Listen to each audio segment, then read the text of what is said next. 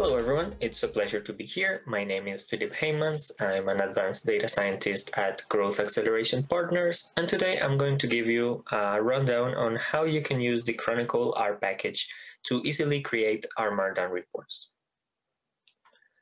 So Chronicle aims to be an opinionated assistant to whom you can delegate the task of creating R Markdown report leaving to you only the task of specifying what you want to have in your report.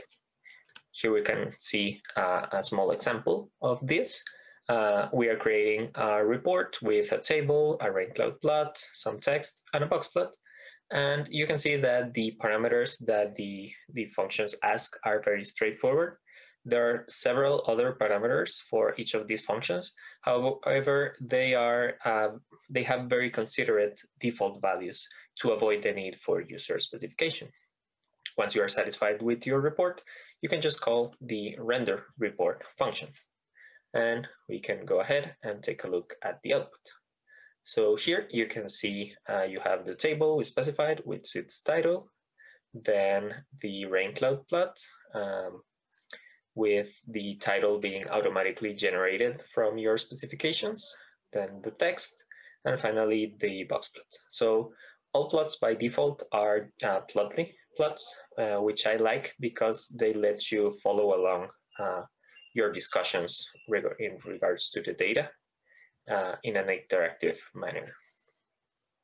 So this is the entire list of elements currently supported by Chronicle. You can see most of them are plots but also you can send raw code uh, and decide whether or not you want to evaluate it or just show it. Uh, you can add images, plain text that renders as R Markdown, um, tables, both static and the data table um, HTML widgets, and um, as I said, a, a lot of plots. So by now you're probably wondering what's happening behind the scenes. How, how does uh, Chronicle create your R Markdown reports? And if you print your uh, the report that we defined here, you can see that it's literally writing an R Markdown report for you. So you have one chunk for every element you have added. Well, of course, the, the text is not an, an R chunk. Um, but here you can see the four elements that we added are explicitly uh, written. And if you take a closer look at the um, chunks for the rain cloud and the box plot, you can see the, that they are calling the make rain cloud and make box plot functions. And those are part of the make family of functions. So these are the ones that actually do the heavy lifting of building the plot that you have ju just requested uh, according to your specifications. This can also be called uh, independently, for example, for a presentation, um, wherever um, a ggplot or an HTML widget would make sense. Um, please do not take this as an invitation to avoid learning ggplot. ggplot is a wonderful tool with a beautiful paradigm, and in my opinion, is a key part of your journey as your R practitioner. Hmm, small disclaimer there. Um, then once we have covered the part of the content of the report, we can dive a little bit deeper uh, regarding the rendering process.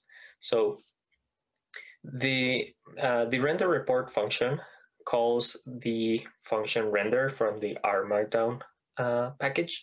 And if you're not familiar with the uh, with calling uh, functions to render uh, R Markdown files, you are probably unaware that there is this uh, environment parameter. So um, once when you click at the knit button uh, when you're viewing an R Markdown file, you're doing it from scratch in an empty environment. Uh, however, for Chronicle, it makes sense to have visibility of your entire global environment.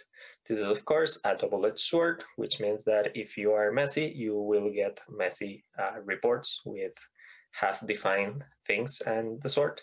But if you run the uh, loading of your data, your processing, your modeling, and you get your results, um, you can use this to create several different re results uh, reports for different audiences um, in a single call with only having to process the data once.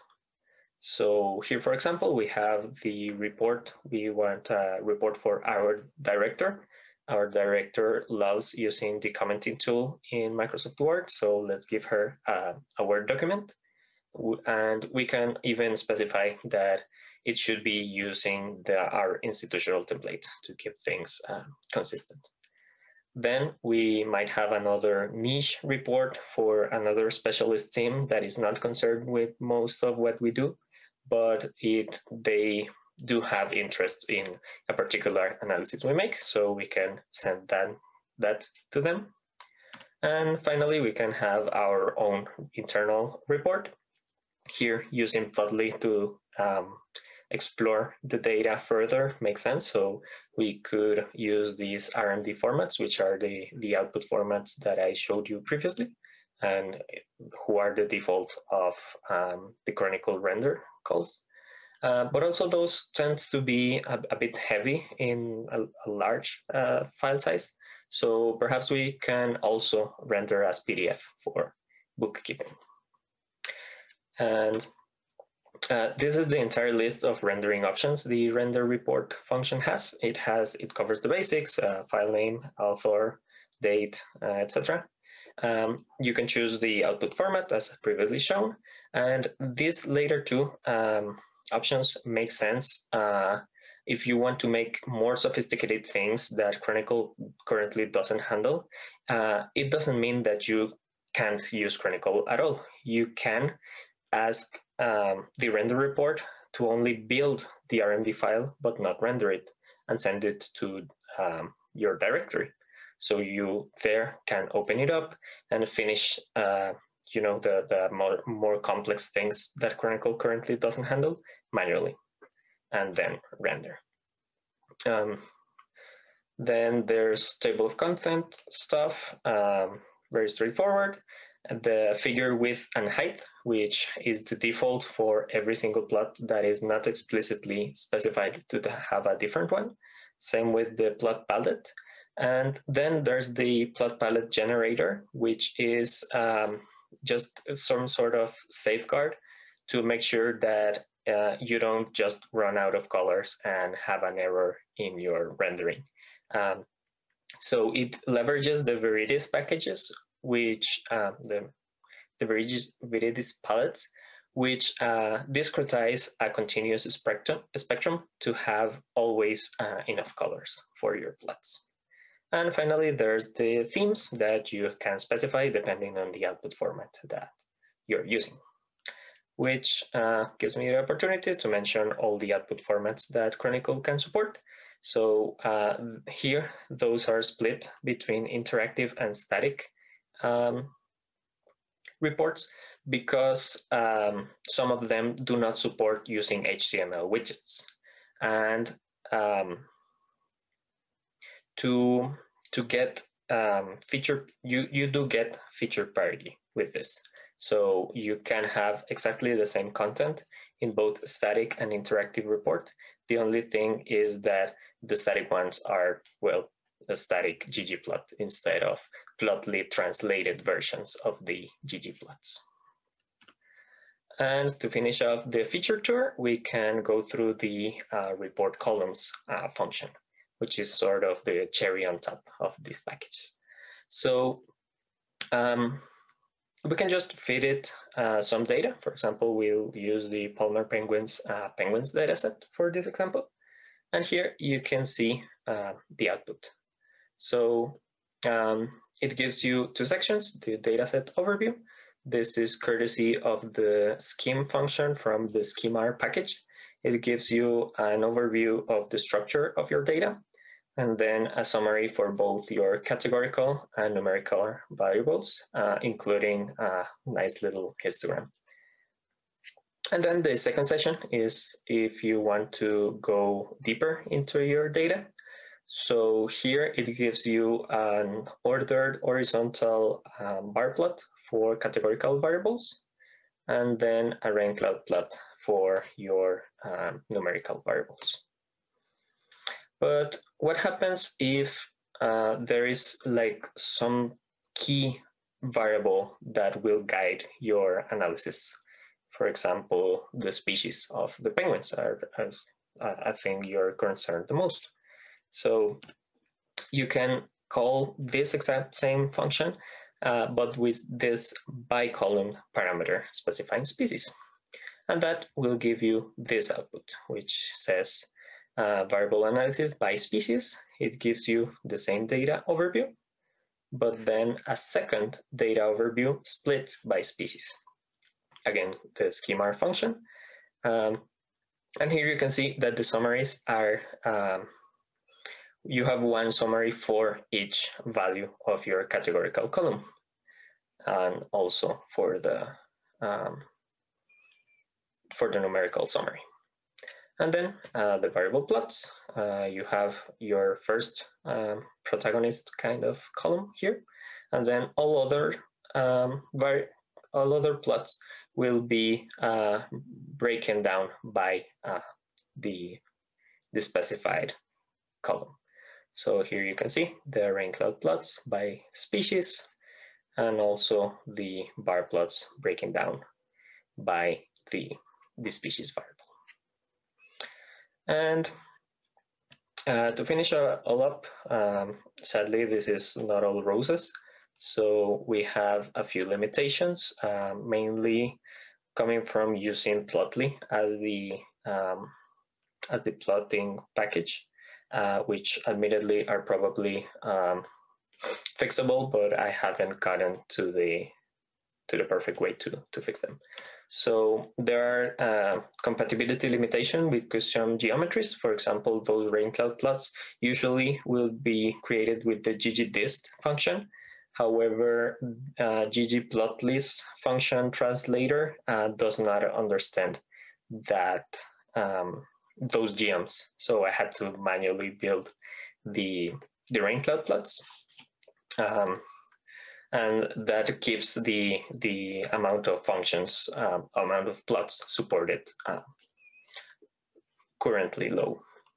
Then there's the issue of the data sizes, uh, because data, large data sizes translate to very large uh, file reports data size, large report size.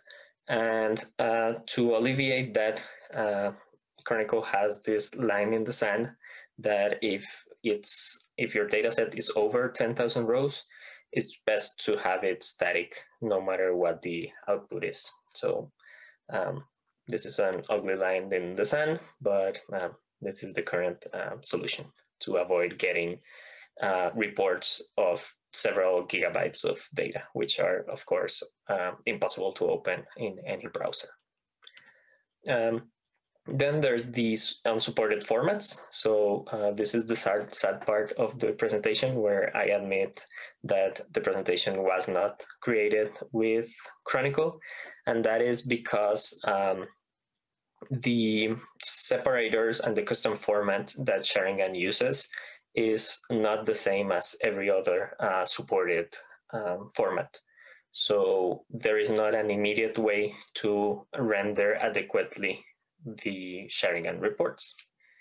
Um, a similar thing happens with flexdashboard, which um, has its own custom layouts to contain the data, the, the plots and the content. So um, that again is technically technically it renders, but it doesn't do it uh, in a pretty way. And then there's rticles. If you're unfamiliar with rticles, this is a package of templates for journals uh, for ready to publication. And please don't like just just don't use this package to write academic papers. Uh, it's it won't be uh, an enjoyable process. And finally, anything that is not currently supported, uh, we do have a way to alleviate it, which is through the add code function. So if there's something you want in your report and Chronicle doesn't do it immediately, just feed it to add code and there you have it, magically uh, supported. Here you can see, it just adds code, no question asked. So this is the Chronicle uh, report. It would be an honor if any of you take it down for, for a spin and um, hopefully it can save you uh, some time and effort. Thanks. Thank you, Philippe. Our next talk is our third talk today is on new displays for the visualization of multivariate data in the tourr package by Ursula Laa.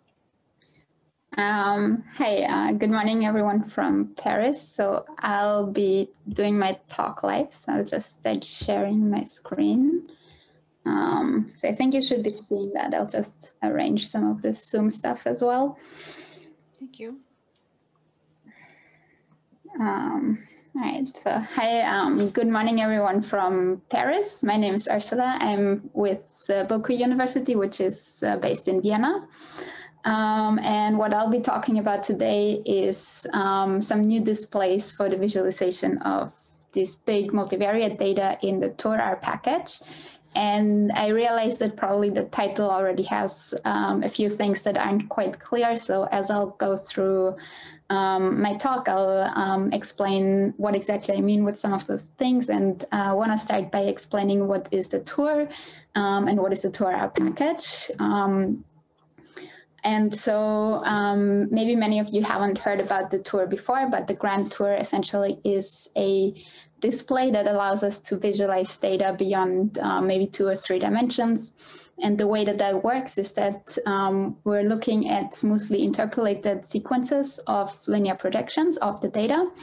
Um, and because those are these kind of smooth uh, interpolations that uh, correspond to just slowly rotating something um, in the high dimensional space and looking at it in uh, low dimensional projections, um, we can start to understand some of the um, multivariate aspects of the data. So things like um, getting intuition about the shape of the distribution. Um, we can see um, clustering, or maybe we can spot some multivariate outliers. Uh, but rather than going more into the technical aspects or the mathematics, I wanted to show you some examples, which I think um, can explain um, how that works in practice and how it can be useful. So I have three examples here. I'm just going to hit play on the first one on the left. Um, so what you can see here is a grand tour showing a wireframe cube that's a four-dimensional hypercube. Um, and you probably realize that what uh, you're seeing at each um, kind of step of this animation is just a two-dimensional projection. Um, but you can also see that um, every time I'm just rotating um, the view a little bit, so um, it makes sense um, what I'm seeing now uh, with uh, what I've seen before. Um, and as we're looking at the animation, we can start to understand how this four-dimensional object actually looks like. I'm gonna stop this one here. So that works nicely with uh, geometric shapes like, like this hypercube uh, but also works more generally with distributions. So the second example that I have here in the middle, that's a um, posterior sample in five dimensions. Um, that's kind of a short animation here, um, but you start to see that actually those points fall on some curved surface within um, that five-dimensional space. Um, so there is probably some uh, low dimensional representation of the data that we could find. Um, and then the last example that I wanted to show you is on um, grouping. So um, here's a six-dimensional data set, and maybe this is a slightly unusual um, type of grouping where actually all three groups that are shown here in different colors um, pass through the same mean. Um, but uh, through the animation, we can start to see that they're actually extending in different directions in this six-dimensional space um, something that is really hard to um, capture with just one uh, linear projection. Um, and so I'll uh, stop my intro to the tour here uh, and just kind of summarize in that uh, we've seen that we can understand some multivariate features in the data. Um, and I haven't really emphasized this, but um, each view is actually just a linear projection, um, which has certain advantages. And the big advantage, um, in my opinion, is that it's uh, really straightforward to interpret in terms of the original parameters. Um, kind of a, a, drawback or a limitation with that is that once we have large data, um, the, the typical displays and kind of the scatter plot displays that I've shown you in the previous slide uh, start to not work that well. Um, and so there's two, two different reasons or different uh, types of large data that um, would lead to this type of problem. So uh, one way of having large data would be if we have a lot of observations, so having a lot of uh, rows in our data frame. Um, and if you have worked with that type of data before, you uh, are probably aware that um, you start to overplot a lot of points and you might miss uh, certain features. And this is especially true if you have uh, what I'm calling here concave uh, features. So you could think of just some hollowness um, inside a distribution that um, tends to get hidden in a projection. Um, the other way of having large data would be if you have a large number of variables. So thinking about having a lot of columns in your data frame. Um, and then you have, uh, again, uh, at some point an overplotting problem, but because uh, even if you have smaller samples, if you have large number of variables, um, points tend to start to pile, pile up near, near the center. This is also called the, the crowding problem.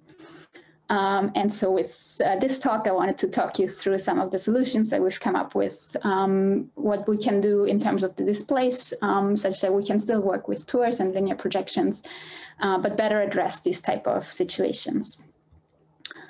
Um, and to give you kind of the answer straight away, so there's two new displays that we've come up with. Um, the first one is what we're calling the slice tour, um, where the idea is that we're only highlighting a subset of the um, points uh, based on some conditioning.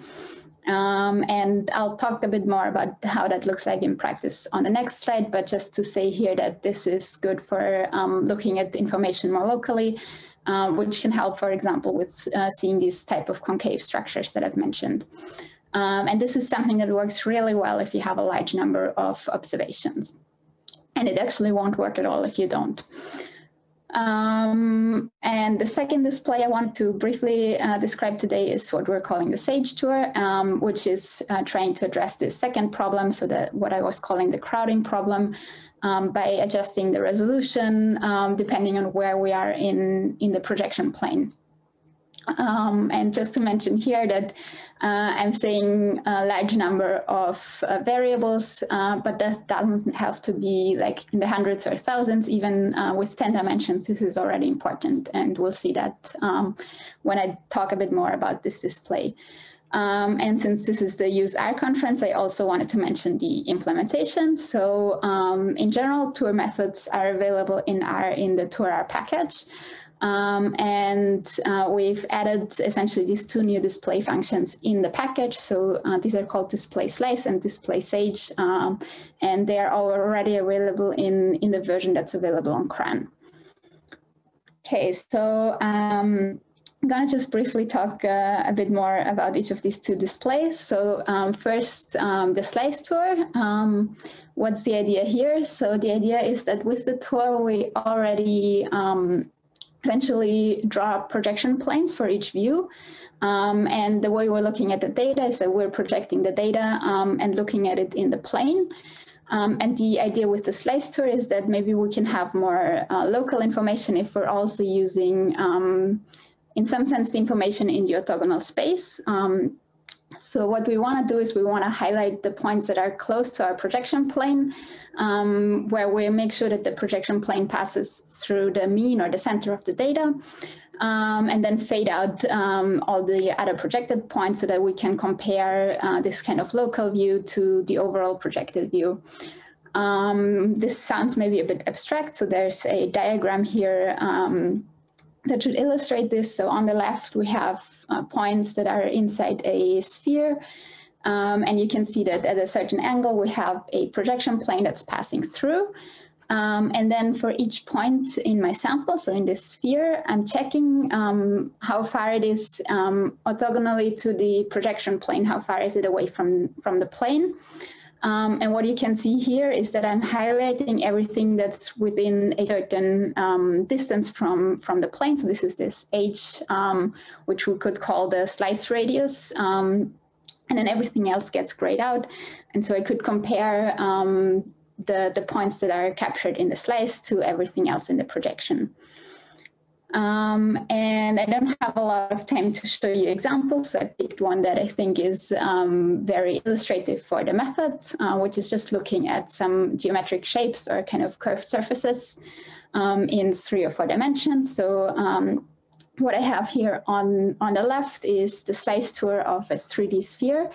Um, where actually I'm doing something slightly different from what I was describing because now the you might have noticed that the plane isn't actually passing through the center of the sphere, but I've shifted it um, to be a bit off center. So as it's rotating, as I'm changing my viewing angle, you'll see that um, the shape of the points that are captured in the slice um, is quite different. And you can really imagine that in terms of um, how you're cutting through a 3D sphere. Um, then I also wanted to include a higher dimensional example. So this is a torus that's embedded in uh, 4D space. Um, again, uh, we can see that the slices show very different kind of information from um, all these kind of faded out small points um, in the projection that you can see um, kind of in the background. And then the final example on the right here, that's again in 3D, that's a Roman surface, which I just uh, think it's really pretty to look at with the slice tour. Okay, uh, and I think I have a bit more time, so I wanted to also uh, introduce the second new display, the Sage Tour, um, where, as I was mentioning earlier, uh, we're trying to address this crowding problem. So maybe uh, you want to start from understanding that problem a, a bit better. Um, and really at the heart of it, I think, is that um, the way that volume from a high dimensional space gets projected onto low dimensions is really um, kind of centered near uh, near the mean or near the center of the projection. And um, the way we were thinking about that is in terms of hyperspheres in p dimensions. So p is the dimensionality of the space. Um, and what you can see in these two plots here on the bottom, so let's first look at the one on the right. Um, so that's the volume um, in p dimensions um, and how much of the volume is captured within a certain fraction of the radius. So the fraction of the radius is on the x-axis and then the relative volume um, on the y-axis. And uh, we see how that looks like for 3, 10, and 100 dimensions. And what you notice is that as we're increasing p, as we're increasing dimensionality, um, a lot of the volume starts to get pushed out towards the maximum radius. And with p equals 100, that's already really extreme. Um, but now what is interesting is that actually the opposite thing starts to happen uh, once we're projecting from this high dimensional space. And so what you see is that um, once we're projecting and I'm looking at where in the plane um, the volume gets projected onto, and I'm again parameterizing this with this fraction of the radius. So now that's the radius in the plane. Um, you start to see that the opposite thing happens, and a lot of the projected volume gets uh, pushed towards um, the center. Um, so with p equals 100, we have most of the volume being projected in the kind of the first quarter in terms of the radius. Um, and so the idea with the SAGE display is that we want to correct for this difference and we want to make sure that equal volume um, in the high dimensional space gets projected onto equal area in the two dimensional plane. Um, and the way we're doing that is with a radial transformation that depends, of course, on p, so on the number of dimensions. A nice way to illustrate this is to look at what happens to um, originally equidistant circles. So um, what I've drawn here on the very left are just, I think those are 10 equidistant circles in, um, in two dimensions. And then I'm applying my radial transformation um, according to um, p, so the number of dimensions that I'm presumably projecting from um, what you'll see is that nothing much happens with um, three dimensions. Uh, you start to see things get pushed out a bit um, towards the outer edge. Uh, but as we're increasing to 10 or 100 dimensions, this gets uh, far more radical, and you start to see that uh, we're giving much more weight to the uh, more the inner region um, in terms of the projection. Um, and especially with p equals to 100, um, the first two circles basically take up most of the drawing space. Um, and again, just one quick example that illustrates the, the method a bit better. So this is uh, this maybe infamous pollen data um, where there's a really small feature hidden near the center of the distribution. Um, and if we look at that with a standard tool, we don't really see all that much, um, but using the Sage display, and so there's just two different ways of tuning the display that I'm showing you here. Um, you see that a lot of the points start to get pushed out towards the maximum radius, um, and we can really decipher um, the word that has been hidden um, near the center for us. And I'll leave it to you to read that off. And I'll use my maybe last minute um, to summarize uh, some of the talks. So um, I've just briefly introduced these new displays, the Sage and the Slice display that we've implemented in the tourr package. Um, and we've seen that we can uh, use that to see maybe convex shapes, um, see small features near the center. Um, and I haven't had time to really show you a um, kind of a bigger example, but what we found is that both of those displays can be really useful if we're trying to understand grouping in high dimensions. Um, there's actually a small example in the backup slides if you have time to look through. Um, in terms of the implementation, so if you're familiar with the tourr package, you'll find that there's a new display and a new animate function for each of those new displays. Um, I've also mentioned briefly that there's some kind of tuning parameters to this display, so I think it would be useful to have uh, an interactive interface um, for doing that, especially because it's really fast um, to generate, so it would be easy to play around with and find the, the optimal parameters that way. Um, and a final note, um, since we have defined um, slicing in this way that's just based on projection planes, uh, we have also used that definition to define uh, what we're calling section pursuit. So that's um, an analogy to projection pursuit. Um, for those of you who know uh, what that is, so uh, that's essentially a way of finding interesting slices um, in the data with what we're calling a guided section tour. Um, and to finish up, I just wanted to thank all of you for listening today, uh, and special thanks to my collaborators, Professor Di Cook and Dr. Stuart Lee.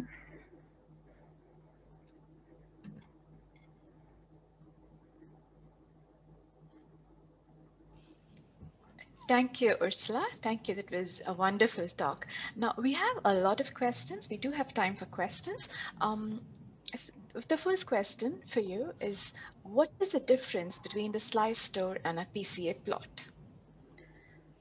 Okay, so um, I think it's more of a question already between the PCA plot or maybe a biplot and the tour. So with the PCA, you're um, essentially you're maybe you're trying to reduce down to two dimensions so that you can draw um, a static plot of the data uh, where you're making a selection of um, well, the most interesting projection would be the one with the maximum variance in the data, whereas the tour would be just um, showing you randomly selected projections, but it's trying to show you um, all the space and show you all the different um, directions to look at. So uh, PCA is good if you know you're interested in maximum variance and you just want to have a, a, static plot, whereas a tour would allow you to um, get a better, like a more global overview of your data and then um, there's kind of things in between. So you could um, look at what I mentioned just in the end, uh, what's called the guided tour is again trying to optimize some index function to pick a projection that's more interesting than um, just randomly picking any. Thank you. Thank you. We also have another question. Do you usually standardize your variables before you plot them? Yes. Um, so whenever you're doing um, projections that are not just uh, axis parallel. So you're um, looking at combinations of uh, variables. Um, standardizing is super important because otherwise you're just not giving equal optical weight um, to the different variables. And I would say it's even more important with uh, the slicer that I was introducing because we're um, super sensitive to this thickness, to this parameter that's um, cutting off uh, what's inside the slice or what's outside the slice. And so if you're not careful and you're not standardizing your variables, you you will probably miss something if it's on a different scale. Right. Um, also, another question by Jonathan. How does the computational speed scale with the size of the data set and what is the largest data set you have used? And could you suggest some paper, blog, book on grand tours in general? Um, yes, Good, good question. So um, if you're just, so there's different aspects to that. If you're just running the tour in itself um, without any optimization, as I was mentioning, then um, you're essentially just, you're not really limited by the size um, of the data in terms of running the tour because all the projections are just um, sampled in terms of projection planes that are not, that they don't care about your data uh, but you're limited when you have to actually draw it. So um, if you're running it live, um, just the uh, speed with which you can redraw all those points can be limiting. Um, but one solution that I have used um, in the past is that I can just record everything and then um, if I'm generating a GIF, I just uh, make a bunch of uh, PNG files. Um, and in that sense, you can really work with arbitrary size of data. Um, it starts to become an issue if you want to do some kind of optimization where you're looking for more interesting views of the data. Um, in that case, you have to evaluate an index function on each new view, and that can be really slow if you have a large uh, set of data points. Um, I would say that a couple of thousand uh, points still works well, but um, I haven't tested anything that goes beyond that. What is the largest data set you have used? Um, so I'm, I'm trying to remember because with the slice tour, because we're um, cutting through, uh, we have had pretty large data sets because once you're increasing dimensionality, you need a lot of points to begin with, um, such that you're even capturing anything within the slice. And I'm sure there were a couple thousand points in those data sets, but I, I don't recall the exact numbers. Can you mention some R packages for plotting multidimensional data? That is another question. Um, yeah, so of course uh, the tourr package is a good place. um, another one that I would recommend is the GGally package, which has um, implementations of parallel coordinate plots and um, scatter plot matrices, um, which, yeah, I think those are the main ones that you should be aware of. Oh, and I wanted to come back to the previous question on um, kind of reading on the tour because I just wanted to point out that we've recently written a review paper. So if you look for that, um, that will have some good introductory information. Excellent. Thank you. Your talk was wonderful and thank you for taking all the questions. Thank you. Um, can I maybe ask quickly a question? Of course. Um, maybe it's a little bit going to more towards my uh, my talk. So did you try out um, not plotting in the, the actual thing in two dimension, but in three dimensions? Yeah, uh, there is, I believe there is an implementation of that in the tourr package. I'm just not um, that big a fan of it because if it's three dimensional and it's also moving, I think it's just too much information to process uh, for somebody um, looking at it. But I do you think that some people find it actually easier to work with that display. Okay. Um, and in that case, I think it's just uh, kind of trying to um, show depth uh, by showing the maybe the size of the points. I don't really, I don't know exactly. okay. well, thanks, everyone. Thank you, Ursula. Thank you. Um, our fourth talk today is on PlotVR Walk Through Your Data by Philipp Thomann. Welcome, Philipp. Yes, um, thank you. Um, yeah, um, you know, there's this lag between submitting a talk and giving it. So in the meantime, it was renamed to Plot VR, uh, from Plot VR to Plot AR. Um, you will see a little bit maybe why. Um, yes. So let's go. Uh, maybe just, aha, uh -huh, I need to share my screen. That's, Please do. So, um, that's, yeah. Um, so I think you can see it now. Yes, we can see your screen, Philipp. So just one moment. I, I'd like to have the chats and Q&A open in the second window. So now I'm organized. Okay, yeah. So thanks. Um, as I was saying, it's now called uh, Plot AR, uh, Plot VR. Uh, now I'm completely confused. Uh, Plot AR, it's now called. Um, so maybe quickly about um, myself.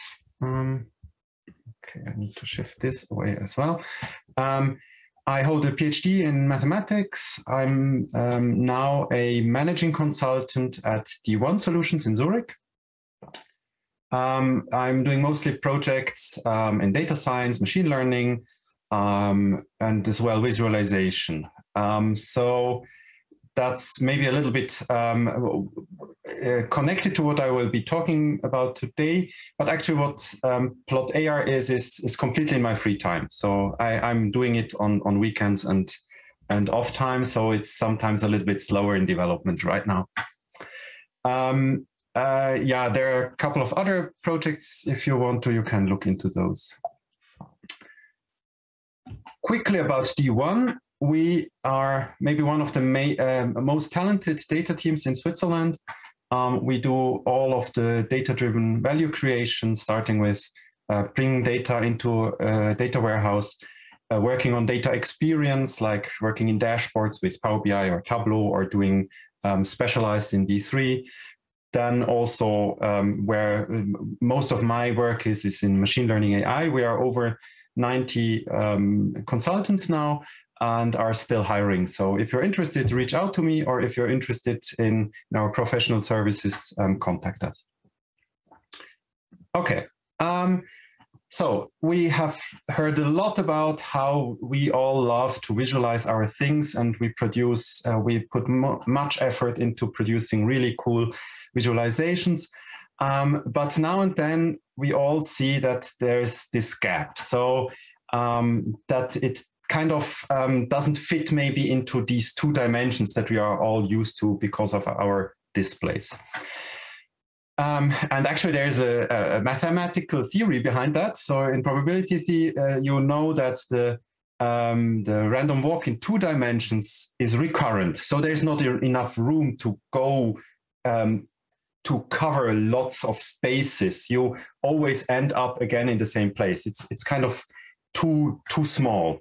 And the third dimension, you might think it's just 50% more, uh, but actually in, in, in, three dimensions, random walk is transient. So you, um, if you walk uh, around, you will eventually leave um, that part of um, where you started and go into different parts. So um, there's a, a, fundamental difference between two dimensions and three dimensions. And yeah, so we all um, try to put them with the standard packages, um, um, uh, do 3D plots, but we, um, as um, uh, as my previous um, uh, talker uh, just said, it's it's kind of it's always a barrier. So you in the end you have just a 2D um, uh, an interactive 2D projection of your 3D data, and it's it's okay maybe for for some people or for some things to look into it, but it doesn't feel really th uh, like 3D.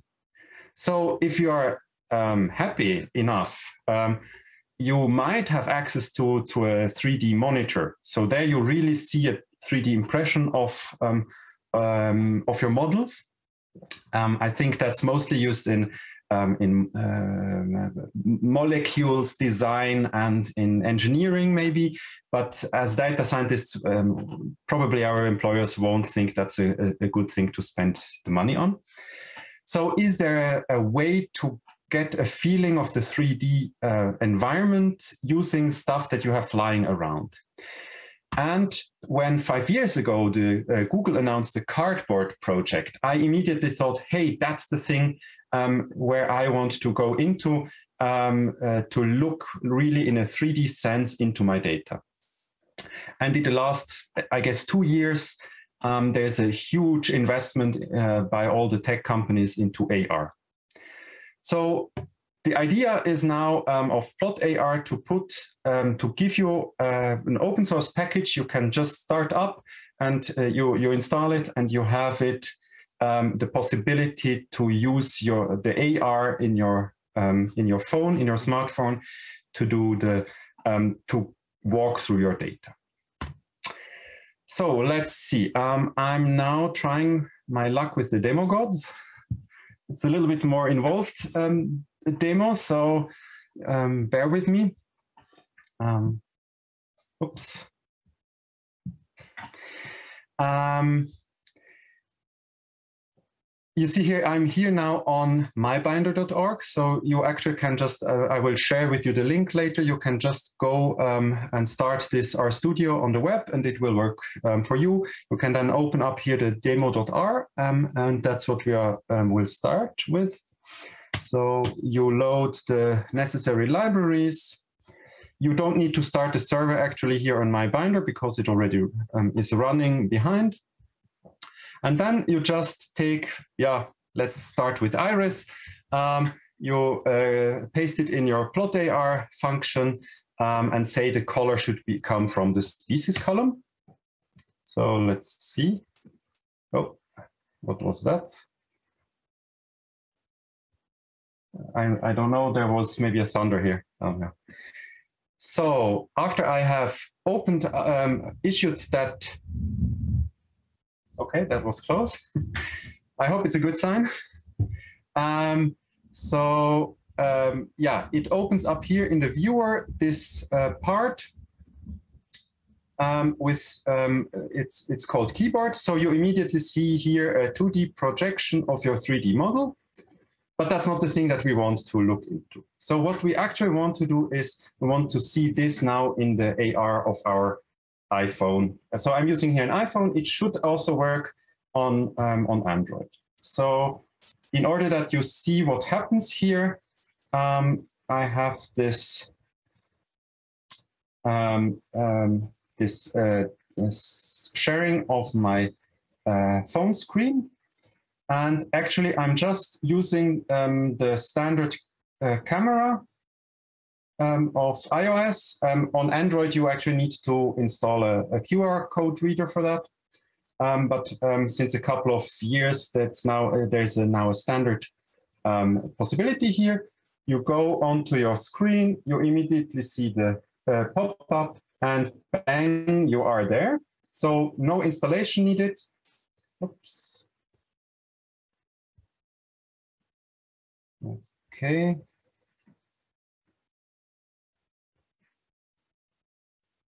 Yes, back there. Um, the only difference is that you see here now in the um, in the viewer uh, a small icon. Um, so um, I'm gonna tap on that. And I'm immediately here in an AR session. I need to find a plane and ta-da, I'm now here walking through um, Iris. So maybe I I put it um, on a different, uh, on a larger part here. So you really see now you can walk um, through your data. And you have the, um, the 3D image um, impression because you actually can go to the data points. If it doesn't fit you, you can um, uh, shift it around by just tapping and dragging, or you can um, pinch to zoom. So to make it, uh, for instance, smaller, you have a better overview. You really can um, go here into, into the data. You see the axis, um, what they are, and so on. You then, oh, it lost the feed again. Huh?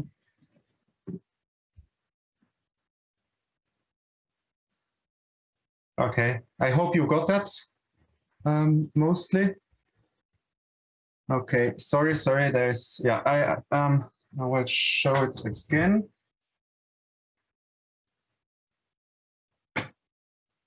So like that, you can um, shift around. Um, you can pinch and zoom. Um, like that. You can walk, go through the data like that. And you have really the 3D impression, and it's not a, a translation of your data, uh, of your mouse movement into a projection you don't understand. It's something you, you are used to. Um, you can just uh, go uh, to the data as, as, as you would in a real setting. So you have the impression of a, a real data there. So screen share is gone again. So now um, you can even go and um, that's it. Say the size should be the um, petal length, I think was missing. Um, let's see. No, the petal width was missing.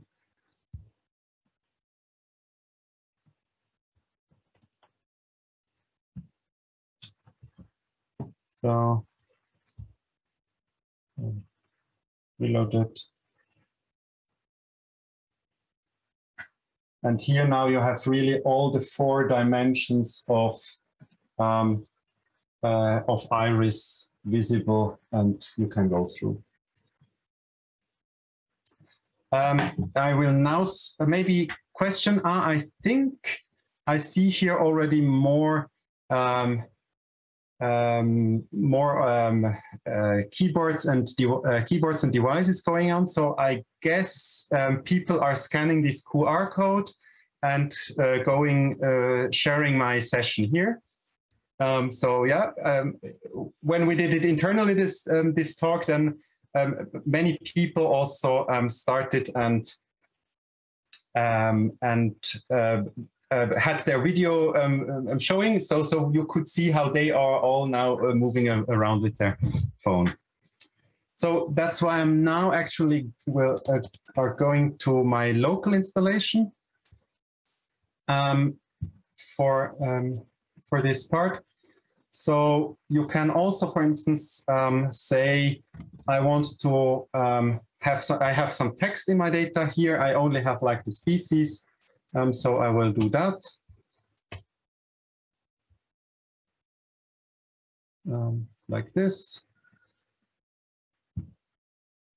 So it needs to load. Actually, I can again go to my QR code and open it up. So you see it figures out what is the correct IP address that it should connect to. It shouldn't just connect to localhost because it's a different device. Um, so and now I can again look it up here.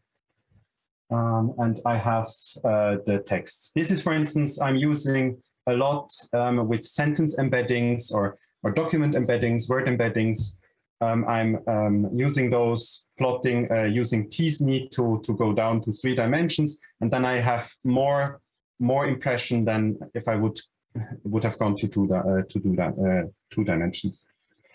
Um, I have also an iOS app I have been working on. Um, so here again, you have directly a QR code uh, um, um, button. And now I'm connected to, um, to this session. I can open it up. So immediately I have here my um, my thing. And now sometimes in this the, the, the, the iOS app is, is interesting because it gives you um, the possibility to have a better connection between your, um, your device and what you're doing. So for instance, I have here the possibility of this keyboard to move my data forward. So it moves forward on my phone or backward. Um, I can push it up. Um, uh, that's uh, obviously the wrong way, but yeah. It's still in, um, in development. Um, you can even use here your keyboard to be like in a first person shooter. Um, um, just uh, hit W or S and so on. And uh, uh, yeah, you are there. Okay, so that's um, this example. I think I don't have too much time anymore. So if you want to, you can go through the other demos. I have here um, the gapminder, um, for instance. So um, this data, unfortunately, I have not no animation yet, but that's um, I will come to you soon. Oops, where did it go? no, you cannot see it anymore. Why not?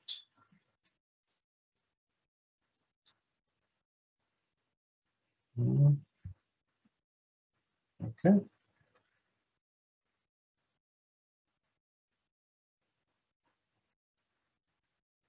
It always, there it is. Ah, it's too big. That's why I didn't see it. Um, so I need to make it smaller. Um, that's weird. That didn't happen before. Yeah, so there's still some kinks now and then.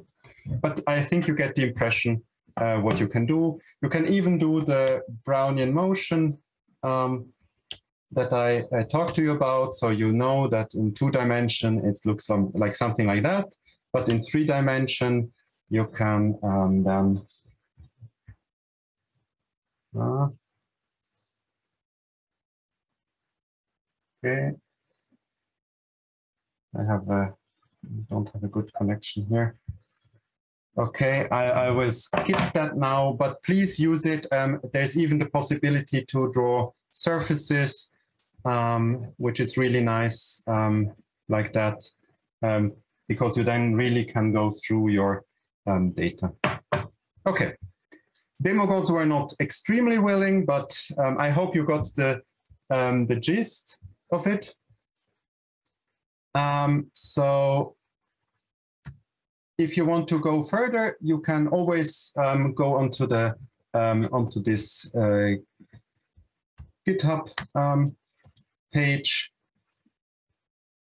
Okay.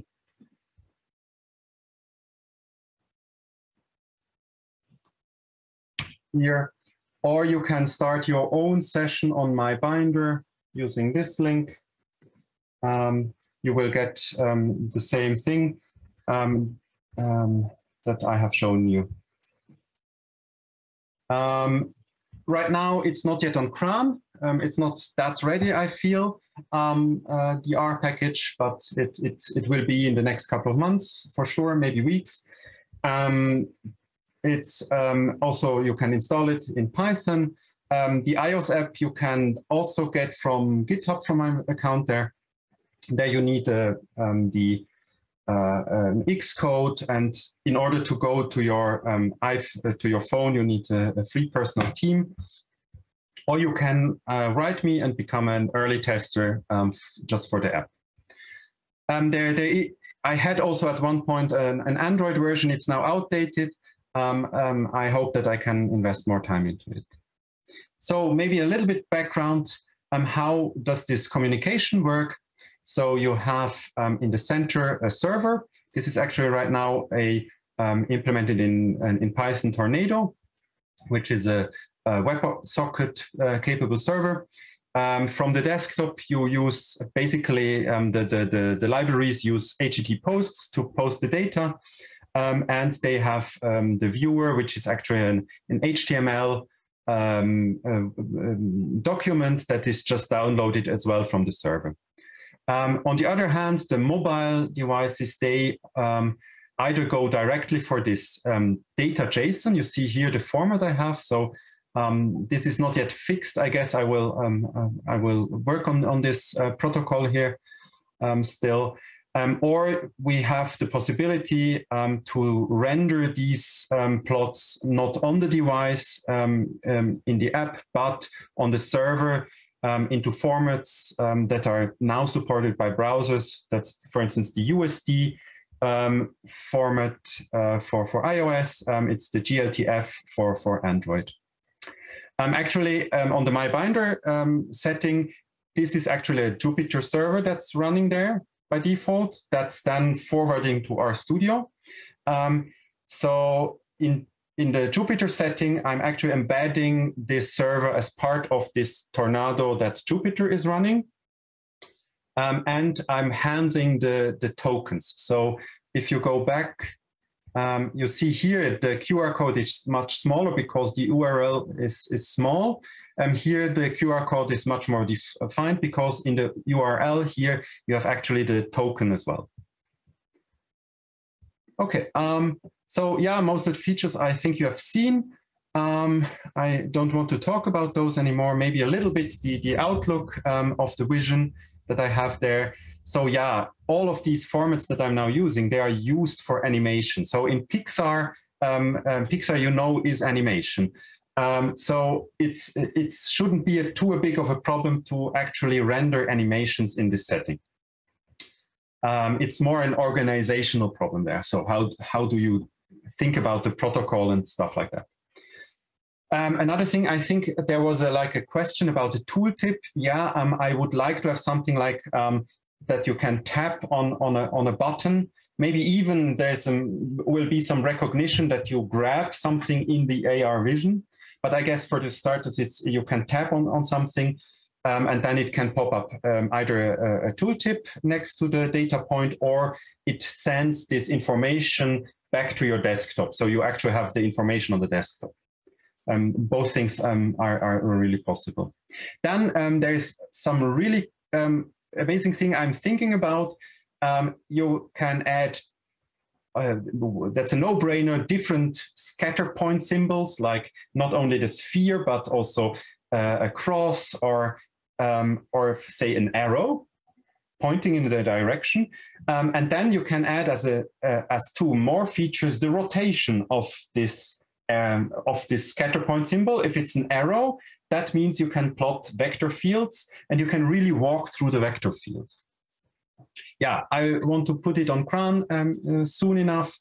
Um, another thing is to these um, files that are now produced, um, they can actually be just saved and um, you see on this examples page on, on my GitHub account uh, examples of that. So here you have just a couple of files lying below, which means that you actually can um, here um, it's, it's embedded, so you can drag it around, or you can open it up um, on, on, the, uh, on the platform of your choice. So have a better um, um, uh, possibility for that. And last but not least, um, now I'm just producing single plots. I really would like to have multiple plots in, in my setting, and which becomes then kind of an AR dashboard. And yeah, the funny thing is I actually started a little bit um, um, working on the um, on the um, architecture slide in AR so that I could have shown it to you like um, in AR, but I guess that's for, for, for next year, something like that. So thanks a lot. Um, I'm interested in your questions. Thanks. Thank you, Philipp. It's really interesting. Absolutely novel uh, absolutely novel talk. Thank you so much. We have lots of questions. Um, the first one for you would be, um, can plot AR plot text and images as scatter point instead of circle dots? Um, yes, it, so it can text, I showed you. So basically, if you have a text column, you, you can specify that. Um, there is, for instance, um, this example here um, where uh, where I plot our my teammates um, at D1 um, with some very simplistic um, feature generations, and you see all the texts are different. Actually, um, for the GLTF format, these texts are um, images in fact. So I rendered these texts on the server into images and can only embed those into the GLTF format. The USD format is in that way maybe nicer because you can actually just put it there and it, it always looks um, uh, crisp. Um, the downside of that is, so obviously here I could also enter um, images um, for, for the scatter points. Um, uh, I had a little bit difficulty yet on, on in the USD format uh, doing images, but I think that um, that's just um, yeah, it's a little bit involved these formats and and bringing them together together shouldn't be that big of a problem yet. So definitely that's something. So I want to have next to the names here also the the mugshots, you know. Um, now I cannot hear you. We have another question. Um, what does the toggle flying mode do? Um, yeah, so the idea there was a little bit mostly in the VR setting that you can um, start flying and then just by looking in the direction you want to fly, you get there. And there you could then also increase speed. Um, in AR, it's it's not not a it's better if so the, the the difference there maybe is in AR you can use your fingers. There you don't need to fly through it in VR, in this cardboard setting, you only the only interaction you have on the on the device environment because it's now in a in a cardboard is that you can kind of click. So so, so you have a kind of of one button. So there it was nice to be able to fly through and then also use the keyboard um, next to um, uh, as uh, with a second hand to to navigate through. Okay, um, one more question. Are we able to have tooltips display of the figure when we walk through the data on the phone? yeah, that's that's for sure one uh, one thing that I want to um, to um, to do, um, but not yet. So in USD in the USD format, there this um, that should be possible easily. Um, in the um, GLT format, it's not possible inside of the format, but I think actually what I'm using here is um, is a model viewer um, um, uh, HTML library uh, by Google, I think. Um, there, I think there is also the possibility of having interaction, and I'm not sure whether that then translates um, well into um, into Android, but I think it should. Yeah, so that's definitely one one thing I want to have there. Okay. Um, thank you so much, Philipp. Thank you so much. Looking forward to using this and just completely new, you know. Thank you so much. Um, we have a question for um, Philippe Heymans Smith. Philippe? I'm here, yes. Yeah, hi. Um, we do have um, a couple of questions that came in the Slack channel. One is, what do we do if the standalone interactive output report HTML file size is large? too many pictures? Yeah, so uh, basically the only hard stop that Chronicle has is in case that one single plot is pointing to a very large data set. Uh, computing or predicting file size from plotly outputs is very hard. So that's uh, an open question that if anyone has any suggestions, I would greatly appreciate it. But as of now, it will not warn you. It will just uh, hang, making gigantic uh, reports that probably no um, browser can support currently. Thank you. Um, one more question. Can the Vega function be used besides um, ggplot2? Can the Vega function be used in plotly plots besides ggplot2? I think that's one. Is that one for me? I believe so. Uh, I have not experimented with Vega at all, okay. so I would like okay. to uh, go back to that. Okay, great. Thank you so much. Um, thank you, Philippe. And um, we, I want to thank all four speakers for today um, for your talks. And up next is a 15 minute break where we can all hang out in the hash lobby channel on Slack. And after that, at 7.15 a.m. UTC is the keynote talk, Research Software Engineers in Academia by Heidi Seibold. With it, it has its own Slack channel at hash. And we'll wrap up now. I want to thank our speakers again, our sponsors, RStudio and Roche, and uh, my co-host Adrian Maga as well. Thank you so much, everybody.